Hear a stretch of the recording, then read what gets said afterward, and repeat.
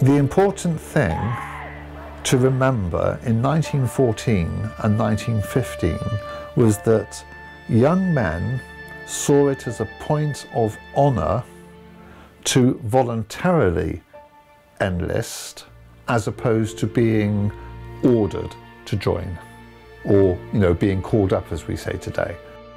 As history records oh the war will be over by christmas and it was all a bit of a, a hoot let's get over there. We're going to we're going to bash the boche.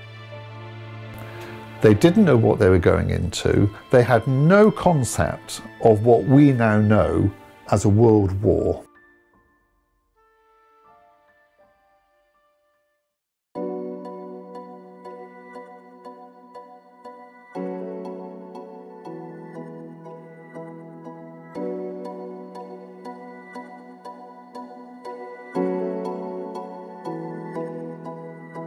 He mentioned to me the horror of being in the trenches on a daily basis.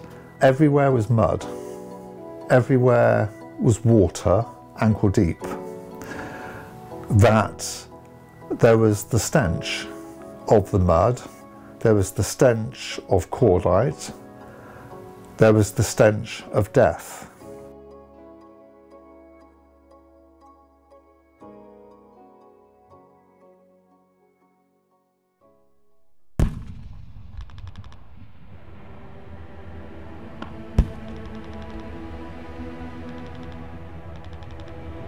It was an attack the Germans had prepared for. Um, it was quite massive in terms of the munitions and the divisions that were involved. Partly made possible by bringing divisions from the Eastern Front because Russia had they'd reached a peace with Russia, it was more, more or less a Russian surrender. And they moved these divisions to the Western Front. So for the first time in a long time, the Germans had a major force and they launched this offensive. And it pushed the British Army right back in terms of, uh, they went back several miles in retreat at various places along the front line. It changed the war, because up until that point, it had been very stagnant. There'd been a war of attrition. And the effect of that was that many Allied prisoners were captured.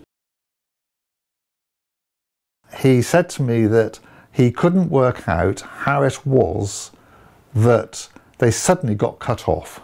Um, and the way I would explain it is that the Germans somehow managed to come around the back of them and cut off his part of the trench.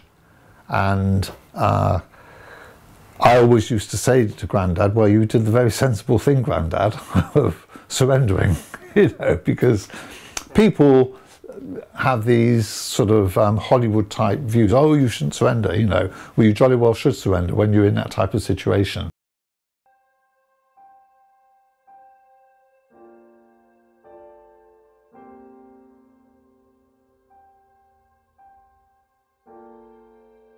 He reported to us that uh, he hadn't seen his brother Harry for a long time and presumed he was dead.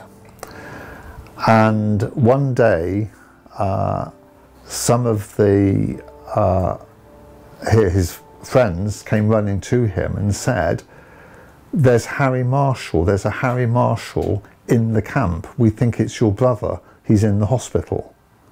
Um, and uh, Grandad uh, said, yes, it was him.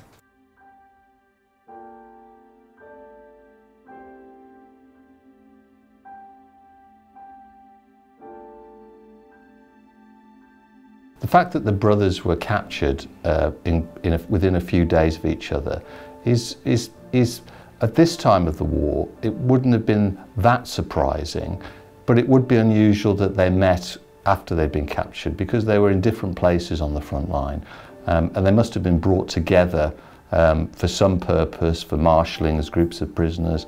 And the fact that they managed to see each other was relatively remarkable in the chaos of war.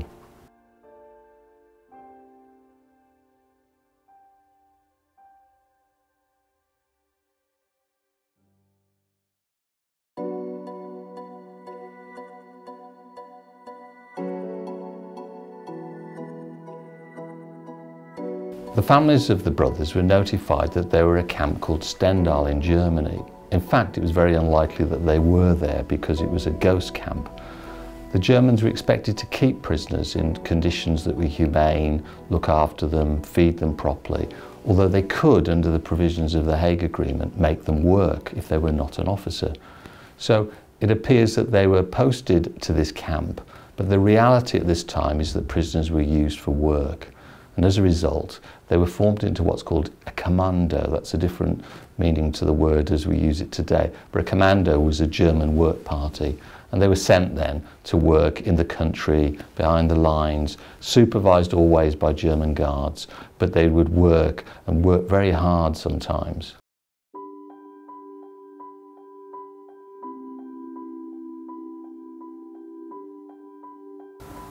Grandad, I remember he you have to be very careful when you're dealing with my grandfather because he would be very quiet. He would be opening up about things that he wouldn't even tell his family. Um, and he would suddenly look, as it were, through the fireplace, through the wall, into a different world. And you just had to sit there on the stool waiting um, and think, well, gradually he'll come back in a minute. And uh, he explained uh, that Harry died in his arms. And then he would just go quiet. Harry's death wasn't surprising in the sense that the conditions of prisoners towards the end of the First World War deteriorated, not necessarily because of German malice, although there were accusations of maltreatment, but mainly because of the lack of provisions behind the German lines to feed prisoners properly. And the other thing was disease. There were all types of fever that became very common. And of course, in the period that he died as well, you'd got the beginnings of Spanish flu. Um, and that, that accounted for a large number of deaths. So we don't know precisely the cause of Harry's death, but certainly from the reports, it was clear that his health had deteriorated, partly because he was having to work and he wasn't well.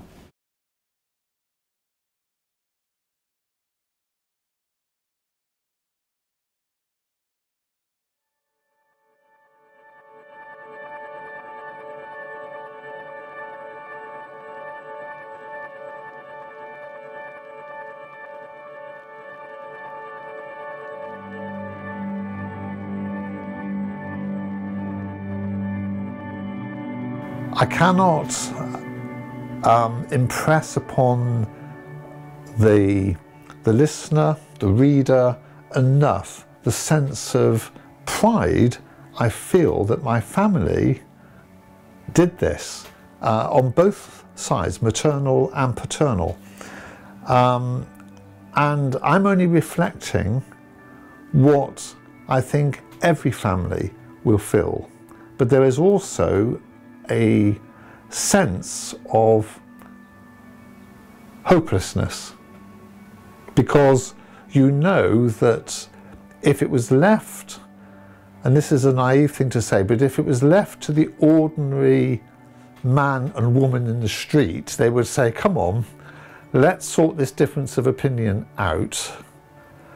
We don't want to lose our families. And I'm talking now about, for example, the British and the Germans and the French. I have many friends in Germany and they all say the same. If only we could have got our point across, we don't want to fight a war because we know what it means. We are going to lose everything and lose everybody.